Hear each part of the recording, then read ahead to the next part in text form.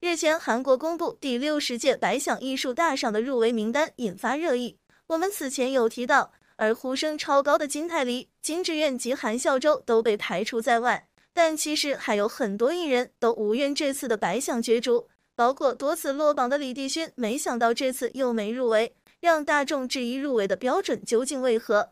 我们今天就来好好聊聊二零二四年第六十届百想遗珠，你心目中的遗珠是谁呢？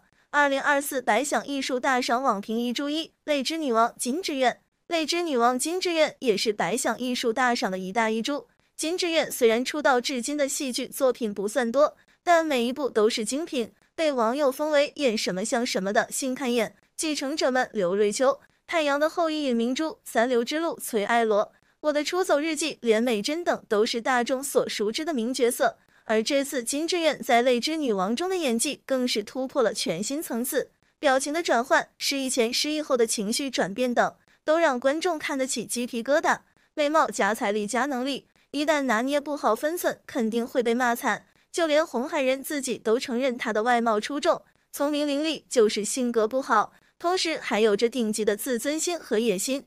一旦金智媛表演时火候掌控不好，多一分显得刻薄孤傲、不近人情，少一分又凸显不出财阀千金的气度。好在剧中的红海人既有冷酷、高傲、令人讨厌的一面，更有可爱、生动、滑稽，甚至尴尬的形象，人设十分饱满。当他落泪时，并不代表软弱。反而是一种无声的抗议。金智媛用自己的理解塑造出了丰满的红海人，还有人以骨干形容金智媛在这部剧里的地位，并且随着大火，更多的人了解到了金智媛私下的模样，对这样反差萌的优质演员有了更多的喜爱。然而，没想到同剧的金秀贤入围百想艺术大赏的视帝，金智媛却与事后之争擦肩，令大众相当惋惜。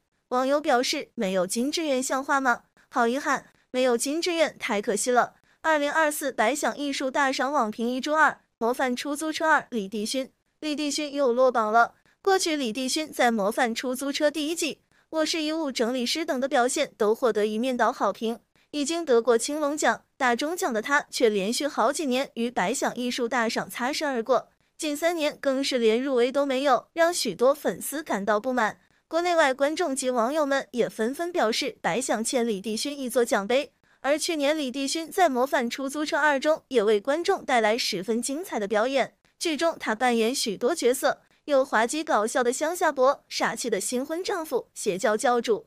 除此之外，还有帅气的武打戏与救援场面。原本以为这次白想师弟稳了，没想到竟然连入围都没有。二零二四白想艺术大赏网评一珠三：恶鬼金泰梨。去年频频以名品演技登上热搜的金泰梨，在入围名单公布前，一直是事后的有力竞争者。在恶鬼中，他一人分饰两角，被恶鬼附身前与附身后的氛围令观众头皮发麻，眼神、语气、表情等切换的也非常细腻。尤其在第十集附身后，口中发出含糊不清的声音，由下而上的灯光打在脸上，画面超级瘆人。后面突然尖叫一声，冲出去找水的画面，更是让荧幕前的观众吓一大跳。当时有许多网友表示，那阵子超怕被敲门，总觉得打开门之后就会看到金泰梨的邪笑。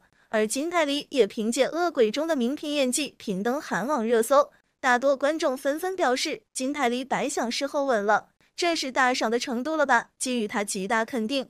然而，在这届白想入围名单中，呼声最高的金泰梨。竟然连入围都没有，有网友认为这届事后的竞争的确很激烈，但金泰梨不至于没入围。留言区也出现许多网友震惊的留言：没有金泰梨，没有恶鬼。金泰梨恶鬼是人生演技耶。二零二四百想艺术大赏网评一周四，精神病房也会迎来清晨。朴宝英，朴宝英去年在精神病房也会迎来清晨，带给观众许多笑泪，有伤心痛苦的部分。也有疗愈心灵的情节。剧中，他挑战一名患有忧郁症的精神科护理师，不但要照顾精神病患者自我疗伤看病，还要面对患者及家属们的异样眼光。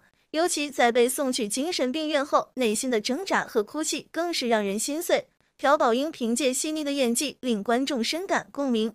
二零二四百想入围名单公布前，朴宝英的呼声与金泰梨不相上下。许多网友更预测金泰梨会拿大赏，朴宝英将成为事后没想到备受期待的两人竟都双双落榜，被严正化、罗美兰、李和妮等人挤出名单之外。二零二四百想艺术大赏网评遗珠五，恶中之恶池昌旭。除了李帝勋，池昌旭也成为今年百想视帝名单中的热门遗珠。去年他在《恶中之恶》的演技简直杀疯了，从一开始争议的警察，到后面毫不犹豫的杀戮，池昌旭的眼神越来越锐利冷血，状态转变处理的非常细腻，展现了与过去截然不同的面貌。而《恶中之恶》也是池昌旭出道多年第一次出演的微反派角色。许多观众都认为他这次有望入围百想视帝，然而入围名单里却没有他的名字。网友留言抱不平：没有池昌旭像话吗？以为池昌旭会入围的。二零二四百想艺术大赏网评遗珠六，Moving 异能韩孝周。韩孝周这次在 Moving 异能中的表现也十分亮眼，首次饰演一位母亲角色的他，将剧里李美贤的隐忍、内敛和坚毅诠释得非常完美。在他戴眼镜时。与拿下眼镜后的眼神变化，更是让许多观众感受到他为母则强的奋不顾身。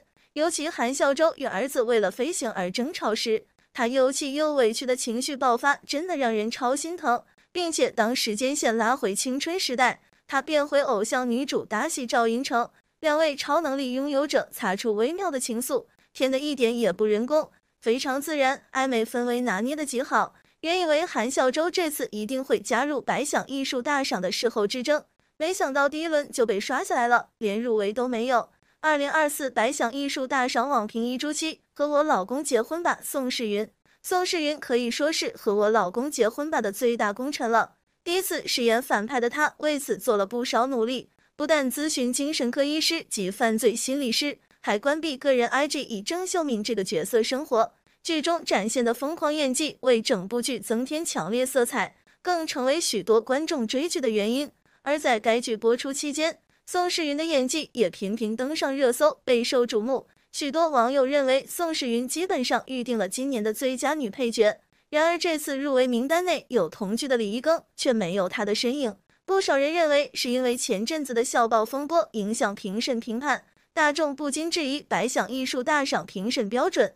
究竟是演技还是私生活？二零二四百想艺术大赏网评一珠八，美好世界金南珠。而近期刚刚完结的美好世界好评不断，金南珠时隔六年回归小荧幕，一开播就因为失去儿子而崩溃的哭戏，就让观众起鸡皮疙瘩，演技简直太好了。先前网友预测的二零二四百想视后名单内，应该也有金南珠的名字，不过他却没能入围，令不少粉丝感到相当可惜。